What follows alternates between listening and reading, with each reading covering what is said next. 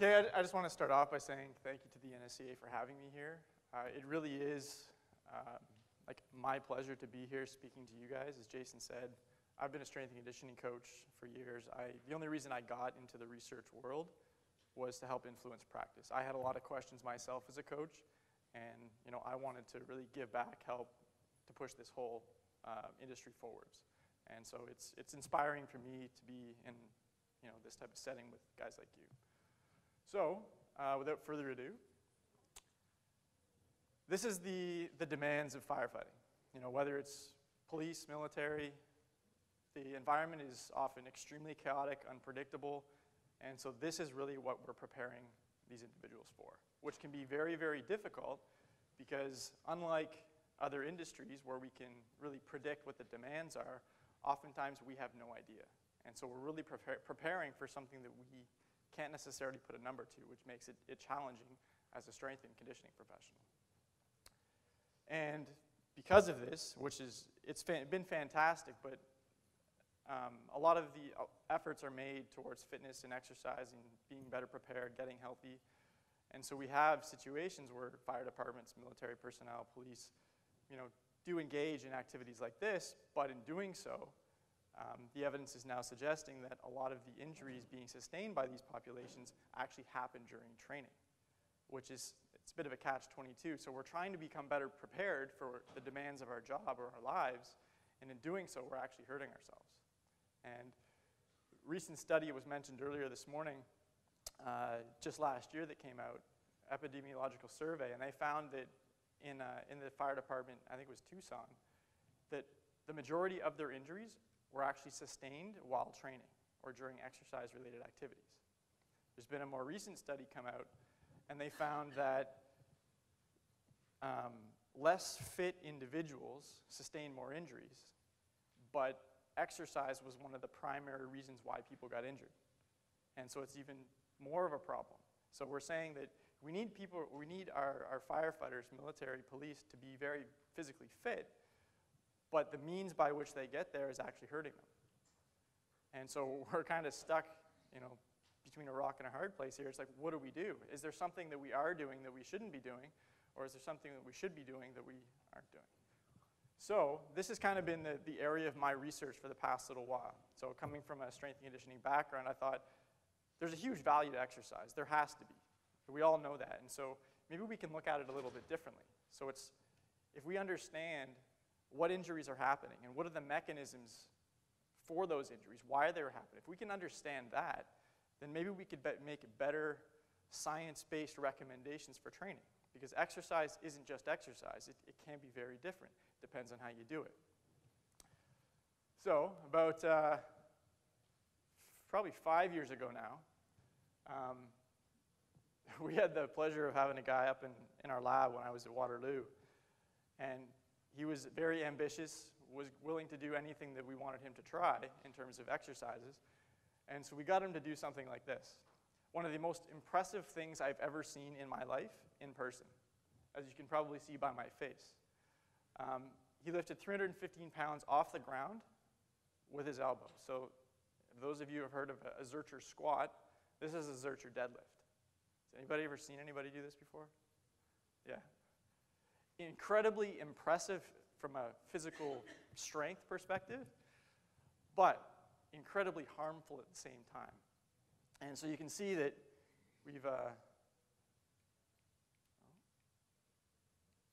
there we are. So we can see all the, we've instrumented this guy. So we can actually, we were measuring his motion, measuring the, what his muscles were doing as he was doing this.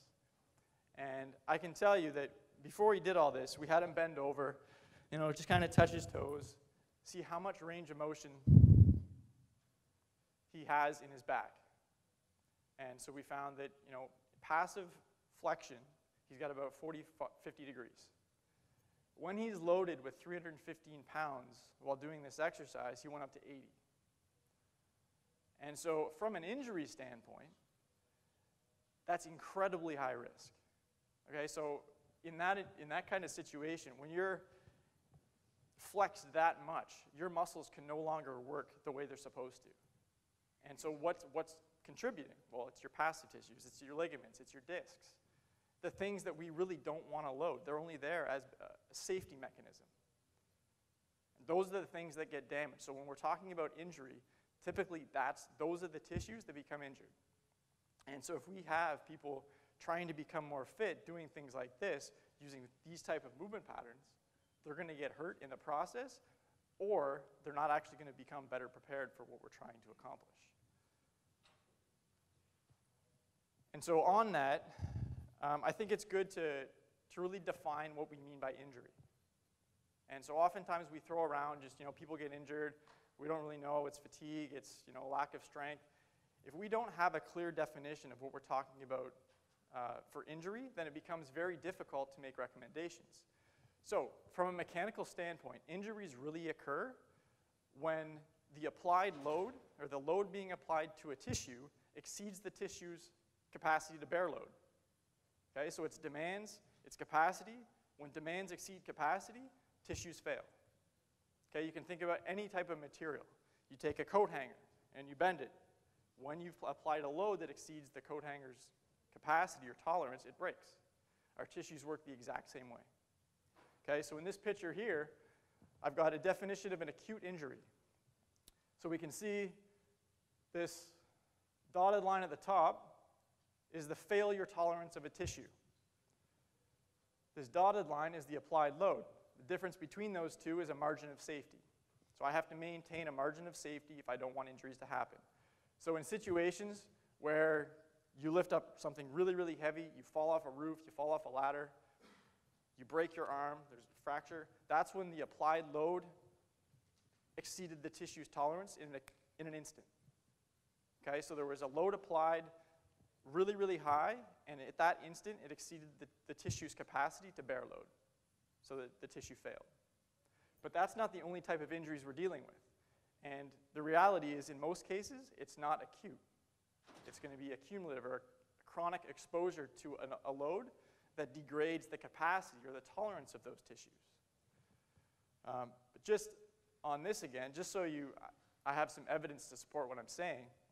If we take the back, for example, um, not only, so if I bend over, like the guy in that previous picture, and I flex my, my spine, not only am I putting my passive tissues at greater risk because I'm increasing the load that's applied to them, but I've changed the orientation of the, the muscles in my back.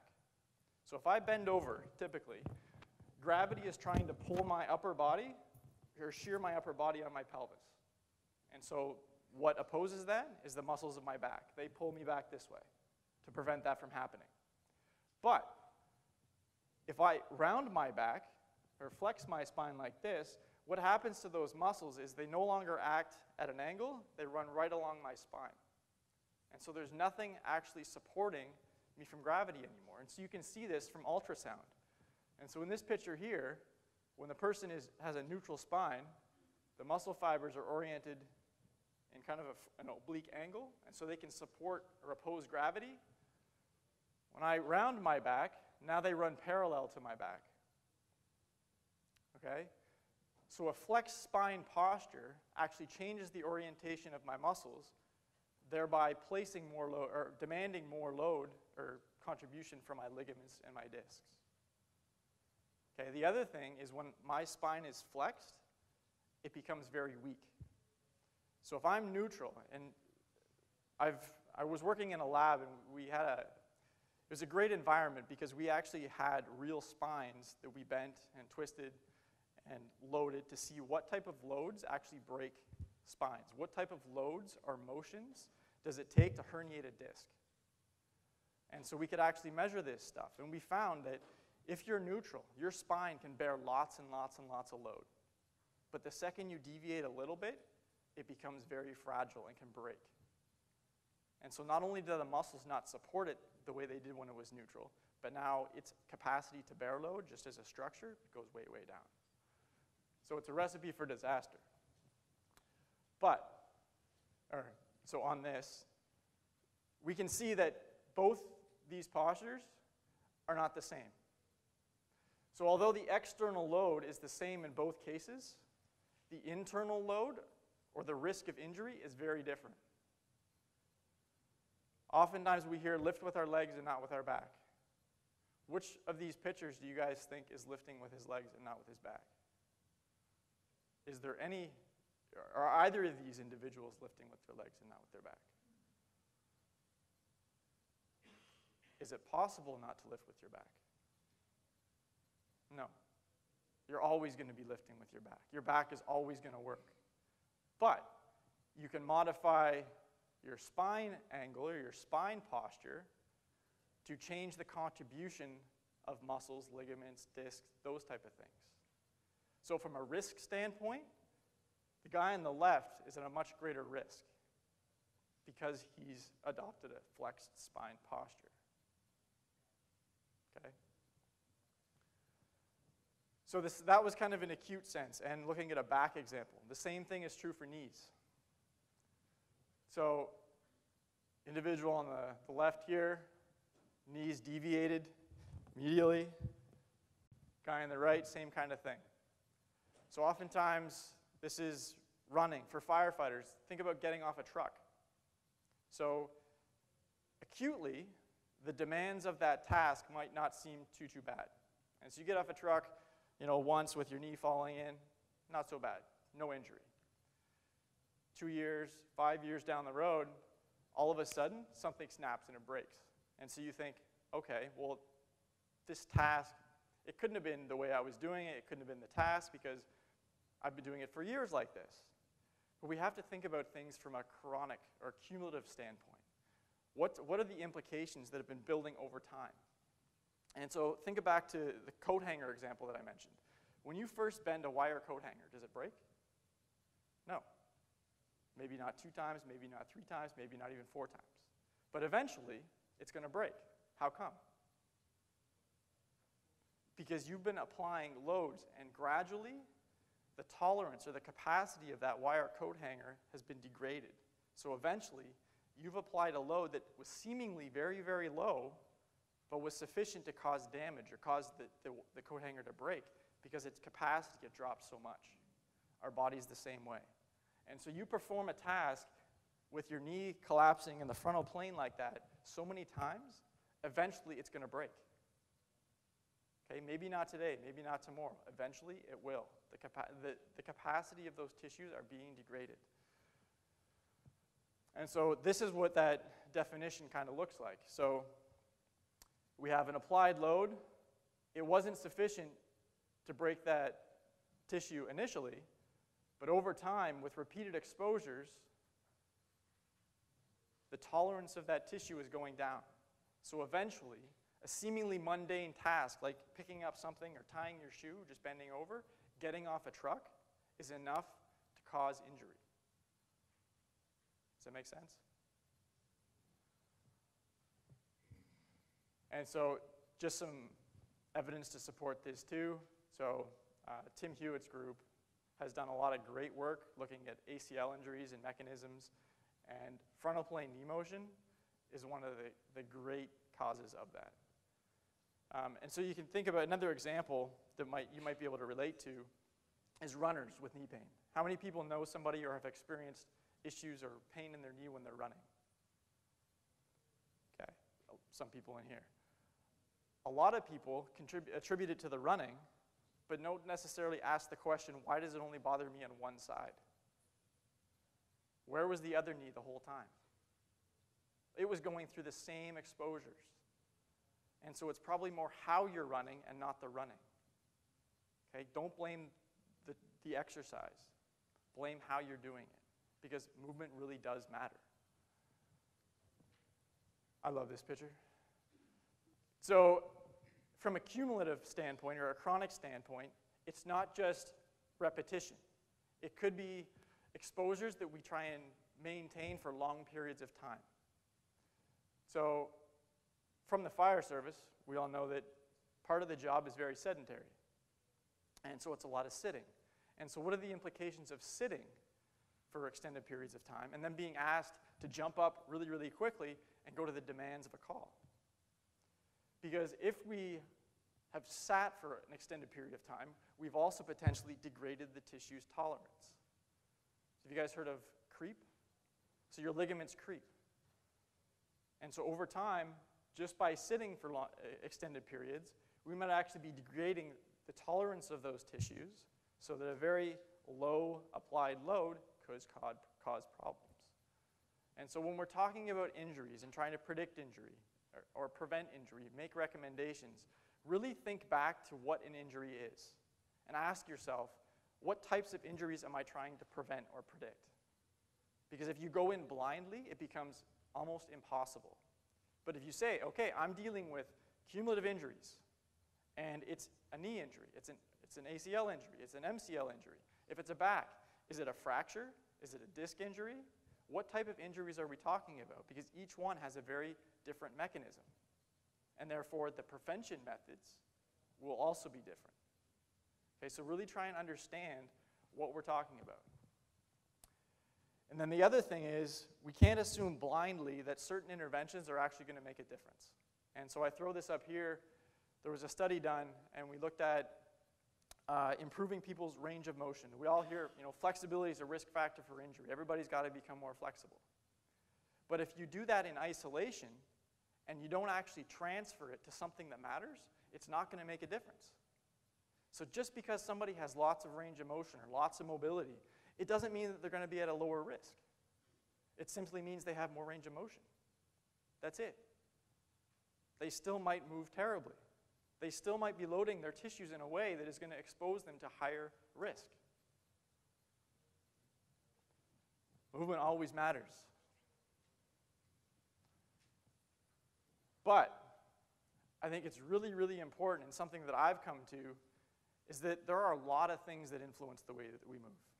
Okay? It's not just one thing. We can't look at somebody and say, I know the exact reason why you do what you do, or why you perform the way you do. Throw this up. So if I'm squatting or I'm running and I squat and my knees collapse, what causes that? Would anybody suggest maybe it's your glute med? Maybe? Could be lack of awareness. Could be lots of things. Could be your feet. Okay? So I don't have x ray eyes. I can't see what's going on underneath the skin, so I have no idea why that's happening. All I know is that it is happening. Okay, so when you're watching the way people move, I was guilty of this. I started making assumptions as to what is the underlying cause. And if you do that and you start making recommendations to fix the problem by turning on the glutes, then your, your recommendation could be completely misdirected. When if you say, all I know is I don't want somebody to look like that. I don't want your knees to collapse. I don't want you to round your back. That's all I know. You are rounding your back. I don't want you to. I don't know what's causing it. All I know is that you are doing it. And because you are doing it, therefore you're loading tissues that you don't want to be loaded. Therefore, your risk for injury is probably going up. And if you do that time and time and time again, what habits am I creating? Okay? It's all about habitual movement patterns. You do something seemingly mundane, extended periods of time, eventually that's going to creep its way into lots of other things that you do. Okay, so I started to explore all right, what are some of the reasons why people move the way that we do? I'm not sure if anybody's familiar with the functional movement screen, but we use this uh, simply as a, a measure to test whether or not knowledge of a task changes the way you move. So for those of you who don't know, the FMS is a, it's a seven-task screen, very, very simple, um, originally intended to just identify painful patterns. Okay? For that purpose, can be fantastic. But there's other people now trying to use it to predict injury, guide recommendations, all these other things, based on a particular score. And so we thought, all right, what we're going to do is we're going to administer the FMS to this group of firefighters. And we're going to use the standardized instructions, you know, tell you exactly what you're supposed to do, have you do the FMS, and then we're going to do it a second time. The second time, I'm going to tell you what I'm looking for. So I'm going to tell you not how you did, but I'm going to tell you what the criteria are to get a perfect score. So nothing else. All I said was, this is exactly what it takes to get a perfect score. And in a matter of about five minutes, we took, so the blue columns are individuals' pre-score. The red columns are the individual's post-score. We took the group average from 13.6 to 16.3 in five minutes. Just by telling them what the answer was. And so I show this to highlight the fact that there's knowledge of what the test is for can change the way that you move. And so you need to be very careful with what assumptions you're making based on the way somebody looks. So you can't say, you score this way or you look this way, therefore your glutes are weak, or you lack strength, or you lack mobility, you lack flexibility. Because you don't know. Maybe they just weren't aware. Maybe they didn't know what you were looking for. And just because they know now what you're, know what you're looking for doesn't mean they actually move any better. It doesn't necessarily mean they're at a less risk for injury. It just means that they performed the task in a way that you wanted them to. That's it. I thought that was pretty powerful. Another question we thought okay, well, we're dealing with firefighters, police, military. These guys have very demanding lives. And so if we're using very low level tests or low level exercises or activities to evaluate how they move, could we be making other assumptions? So, does load change the way that we move? I'm sure everybody in here would probably say, probably. And so we did a study and found, yeah, it does. But the interesting thing was, it wasn't in the same direction for everybody. So what I'm showing here is we have people squatting. So on the left, we have somebody squatting with light load at low speed. Right beside, same individual, high load, low speed. So all we did was increase the load. That individual had a reduced, they showed less spine flexion, so they rounded their back less when the load was higher. So that might say, well, this person could have been aware. So when they perceived the task to be very low risk, they performed it in a way that we wouldn't necessarily perceive to be good. But when the, they thought the risk was higher, they approached it very differently. It had nothing to do with mobility, flexibility, all that stuff. On the contrary, the person on the right here, they went the other way. So with the light load, low speed, they look great. When load went up, they got worse. And so this might insinuate that the person lacked strength initially, so when the demand was higher, they performed worse. But we don't know. All we know is that load changes the way you move, and in different ways for different people. Same thing is true for speed. So we had same people, just now it's different conditions. So we varied low speed, high speed. So on the left, we have both light loads, low speed, high speed. Guy shows less spine flexion with a higher speed. Guy on the right goes the other way. So again, load, speed, knowledge of the criteria that we're looking for, all these things change the way that we move. Another study we did, um, I wanted to know how does somebody's performance on a very low-level test, like the FMS, how does that relate to something very job-specific, where the demands can be very high? So we had a bunch of firefighters come in again, did the FMS, and then we simulated a few firefighting tasks, so advancing hose. This individual was one of the best FMS scores I've ever seen. He got a 20. And so from a a screening standpoint, he moved very, very well. Therefore, based on the, the research that's been done, using a cutoff score of 14, his risk would be perceived as very, very low. But when this guy did the hose advanced task, this is what he looked like. So I don't know if you guys can see this with all my arrows here, but look at his knees. So I was reviewing this guy this guy's uh, data with him afterwards, and I said, "Oh my God, do you do your knees hurt?" He said, "Yeah. You know, every time I run, I'm a soccer player. I got to wear a brace because I, I just can't handle it." I'm like, "Yeah, no kidding." But the crazy thing is, is that when he wasn't challenged with high demands, like something like this, when it was very low level, this didn't appear. And so if we're trying to provide or predict injury or make recommendations that are appropriate for this individual to prepare him for his job or his life, we have to consider the demands of the activities. Because if we don't, we can be completely misdirected. Does that make sense? So then, then I started thinking, okay, well, if I if I'm a firefighter, if I'm working with firefighters, and the demands really matter, and does that mean that I have to screen every single task a firefighter might perform? Or are there ways that I can use a bunch of general tasks to predict how they might perform some of these firefighting things? But when I say predict, I mean, are there similar motions? So I need to identify some key motions that I'm very interested in that are going to either increase my risk for injury or limit my performance. And so, based on the examples I've shown, this could be something like frontal plane knee motion or spine motion. Okay, so from a performance standpoint, if your knees are collapsing, forces aren't going to be directly or directed through the joint, therefore performance is going to go down. If I have lots of spine motion, performance is going to go down because now I don't have that stiffness to really transfer anything from my lower body to my upper body if I'm pushing or pulling or doing anything up here.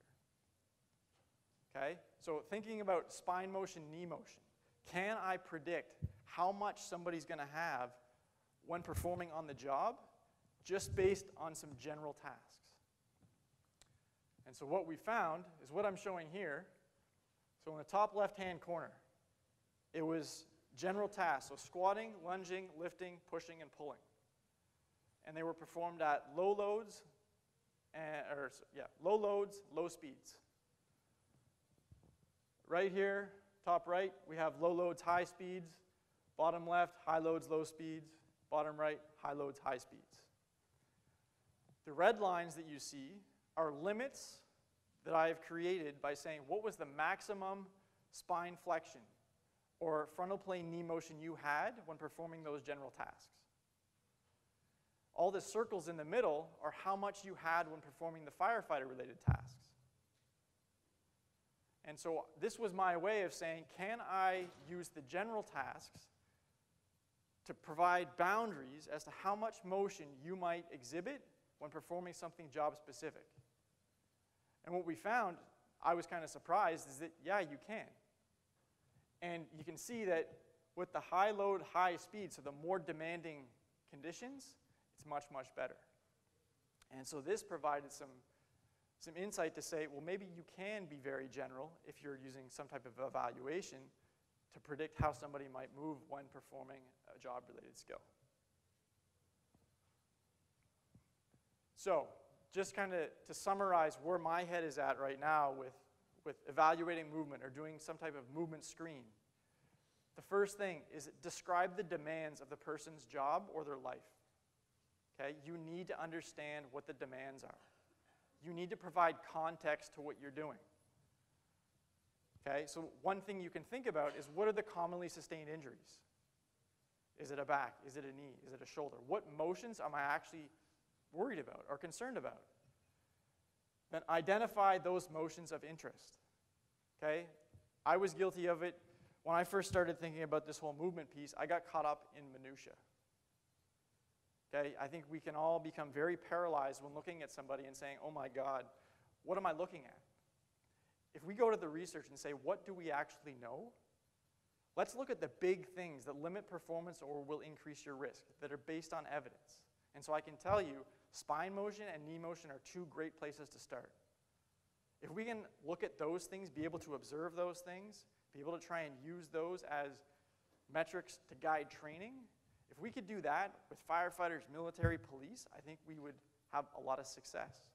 Don't get caught up in a whole bunch of other stuff that there's no evidence to support. So identify the motions of interest. And then, when you're screening, make sure you choose tasks or exercises, if you're going to do a screen, that actually challenge those motions of interest. If you find that in your population, so for firefighting, a lot of it is, is unilateral or asymmetrical. And so you might be hose on one side, you might be swinging a, a sledgehammer in one direction. So rotation, might be something that you're interested in. How well does this individual control rotation? Therefore, if you're doing some type of evaluation, make sure you have them perform a task that challenges that motion. So everything bilateral is not going to do it. Does that make sense? And you're looking at how well can they control the motion, not how much motion do they have. Because I don't care if you have lots of range of motion, I want to know how well you control it. So when I put lots of load on you, or I have you swing really, really quickly, can you control rotation? I want it to be zero. So, on that backdrop, what's the role of exercise? So this is where I what I think is really exciting. All right, all this movement stuff, great. You know, demands matter, prediction, but in here we're all using exercise as a means to make people better. And so, how do we approach exercise on this backdrop? This is kind of where I'm thinking now. We identify some key features, so again, let's take spine motion, let's take knee motion. And I'm going to try and stabilize those features. I'm going to try and, with exercise, I'm going to try and perturb your movement system. So I'm going to throw loads at you, I'm going to throw speeds at you, I'm going to throw reps and sets, change duration or work to rest ratios. Your goal is to stabilize those key things. So no matter what I throw at you, I want you to control it or stabilize it. So from an injury standpoint, if we know that you know injuries are going to for knee injuries, it's going to be associated with a lot of that stuff. So I don't care what exercise or activity I throw at you, or what demands I throw at you. I want you to prevent that from happening. And we're going to do so in a very periodized, progressive manner, but that becomes the target or the metric of interest. Okay? So we're perturbing the movement system, fit principle, frequency, intensity, time, type, in hopes that if we do this, these good patterns are going to transfer and become persistent in life. If we don't do this, and we use exercise as a means to make people more fit, but we don't pay attention to these motions that really, really matter, what could happen is we start creating habits, habitual movement behaviors that emerge and persist in life. But it's an undesired feature. So if we exercise is a great way to create habits, but if we do so and we don't pay attention to the things that matter, it could start showing up in other things. Therefore, people get injured.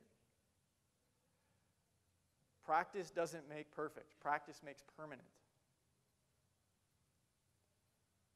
Okay? Exercise is a fantastic means to practice. Practice good movement behaviors. Okay? But what I really want to focus like to emphasize is you have to make sure that you're challenging people with loads and speeds. Okay? Movement isn't something that you do here and then it goes away. It's always important. And that could be one of the reasons why a lot of our, our guys and girls are getting hurt while exercising. Is because they're trying to become more fit, but they're not paying attention to how they're doing it. So then, you know, I pose the question what are we doing with all these things here? Are we actually stabilizing undesired features? So, yeah, I might be lifting more load. Yeah, I might be moving faster, but at what consequence? What are the implications of this? We can't train in the gym and limit our successes to the gym. If it isn't actually influencing what they do outside the gym, then what are we doing?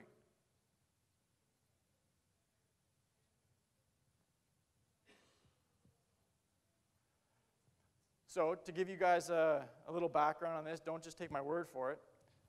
This is kind of the, the philosophy that we had, and we decided to put it to the test.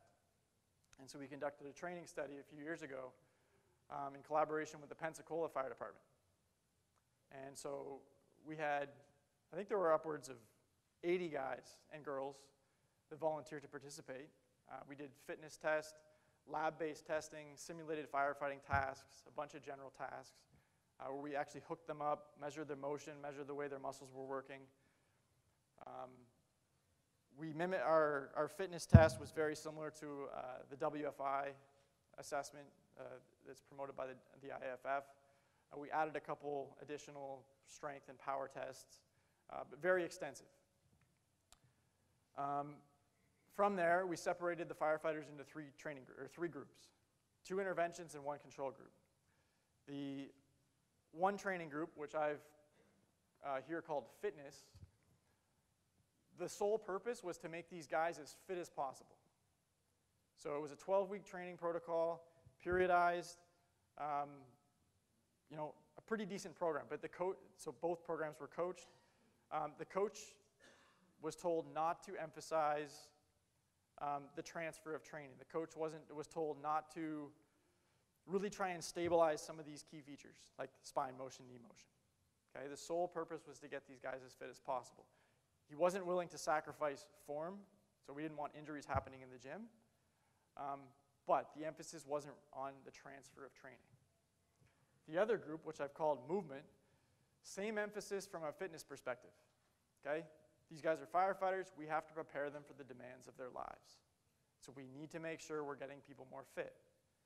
But we're going to do so by paying attention to how they move. And we're going to do so by emphasizing these key features in whatever exercise they're performing, in hopes that we get some type of transfer to things they're not performing while training. Okay? So it's one thing to say, yeah, I'm going to change the way you move doing an exercise, but I showed you with the FMS study, you can change the way somebody moves in four minutes just by telling them what you, you want them to look for. So we wanted to know, does this change your ability to, or awareness to perform something you don't perform while exercising? Okay? The coaches were blind to what we were doing in the lab, so they had no knowledge of that. The firefighters didn't know the differences between the training groups, and so everybody was, everybody was kind of blind to what was go going on. Uh, myself and the colleague that were doing the lab-based testing, we had nothing to do with training. So after 12 weeks, we brought everybody back, um, and we did the tests again. So we retested them with fitness, we retested them on all the lab-based tests. So this is just kind of highlighting um, some of the stuff that was done, fitness-wise, and then some of the lab-based uh, tasks, both general, firefighting specific. Um, for those of you who are interested, when you download the, the, the, the, uh, the presentation, this is an example of one day for the fitness training group. So like I said, it was periodized, so there were three phases in the fitness training program, uh, three different days. The movement-oriented fitness training group, same type of thing, so periodized. This one actually had four phases, um, but same type of protocol. So, what do we find? Well, in terms of fitness, both fitness groups got more fit, or both training groups got more fit, which is great. Our control group didn't, which is also great. They actually acted as a control group. Um, there were slight,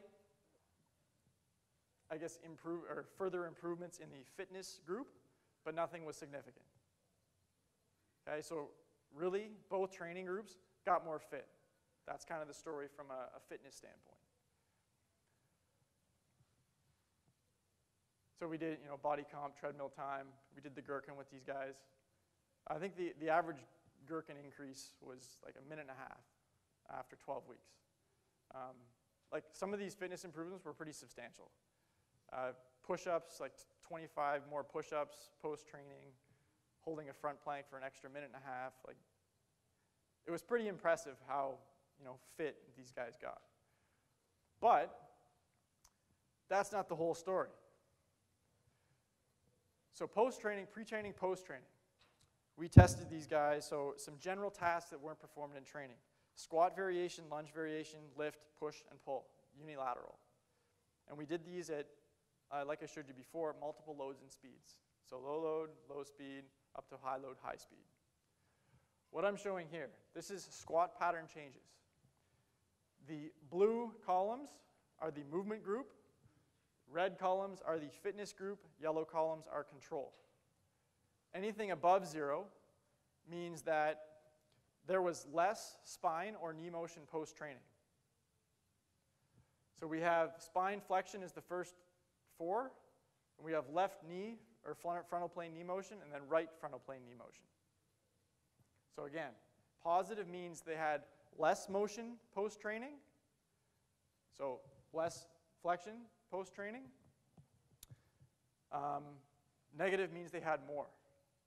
And so what first jumps out at me here is the massive negative for the red for spine flexion. This means that those individuals that received the fitness oriented training actually exhibited more spine flexion post training across all loads and speeds when squatting. So, yeah, they got more fit, but for some reason, they also exhibited more of that undesirable motion, which might predispose them to injury. And that wasn't apparent in the movement group. What we also saw is when we're looking at this knee motion on the right side, it was the opposite. So the movement trained group actually had less knee motion post training, and the fitness group didn't really change. And this wasn't just for squatting. Lunging. We see something very strange going on for the control group, but it all went the other way, so it all was negative. For the fitness training group, we do see some positive. So right now we have spine flexion on the left, we have lateral bend, which is the second four. We have twist, the third four, and then it was a right side lunge, so we have right frontal plane knee motion. So the fitness group actually exhibited less lateral bend and less twist post training, but they also showed more spine flexion and more frontal plane knee motion. Movement trained group, not the same thing. So they had less lateral bend, less rotation, and they also showed a very interesting speed response for flexion. So you see on this left-hand side that there's only two bars that are going up. That's only when the, the speed was fast. So low load, high speed, high load, high speed. So they only showed less flexion when the speed was high. Lifting, same thing. Less spine flexion post training in the movement group. Fitness didn't change. Pushing, same thing. Fitness group, some decrease, some increase. But overall, you know, they may have predisposed themselves to further injury by exhibiting more of this undesirable motion post training. Movement group, not so much. And then pulling was very similar.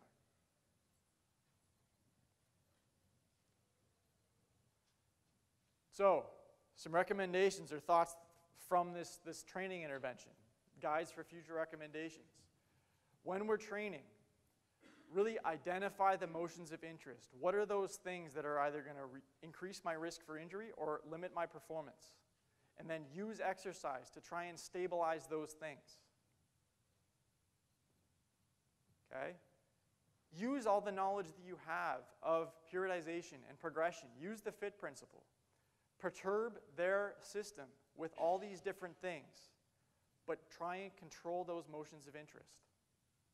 You want those things to emerge and persist in everything else they do outside the gym.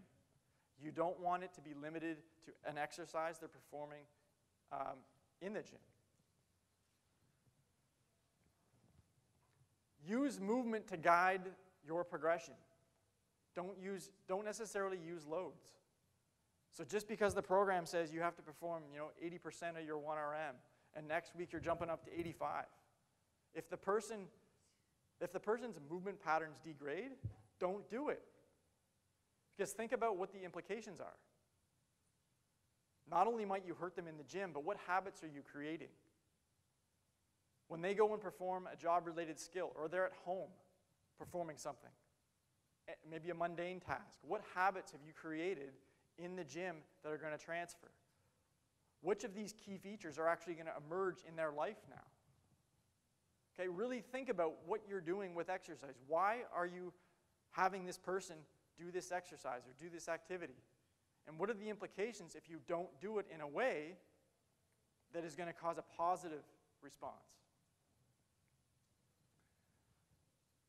I think one of the big take homes and that might support some of the evidence that's out there is emphasizing fitness alone may not increase or reduce your risk for injury. We have to be smarter. Ask yourself Am I making somebody tired or am I making somebody better? It's our job to make people better and not just in the gym. And just a last point really view exercises as tools, and that's it. Don't become married to an exercise. There's lots of ways to accomplish the same thing. Okay? Have a rationale for doing what you're doing. Know what you're trying to accomplish. If it's for firefighters, we want to improve these guys' performance. We want to reduce their risk for injury. What injuries are we talking about? What motions are associated with those injuries? What motions do we actually want to stabilize and make really, really robust? What are the demands associated with these activities that they're performing? Therefore, what are the demands that we have to eventually get to in training? Don't just blindly throw a bunch of stuff at them and hope it transfers. It doesn't work that way. There's evidence to say it doesn't. So we can be a lot smarter in our approach. So just train with a pers- purpose. Make exercise matter in life. And then, just uh, in summary, kind of what I've been saying is we're preparing for life. It's not about exercise. Exercise is a tool to get us there, but it's just one tool. And like was mentioned earlier today, when we're working with these type of populations, maybe the emphasis goes on the implications in life. Maybe it, it shouldn't just be about the job. Maybe we should really get them thinking about how this impacts everything else you do when you go home from work. Because if we do that, maybe they'll get buy in a little bit more and actually want to make a change. I think that's it. Thank you.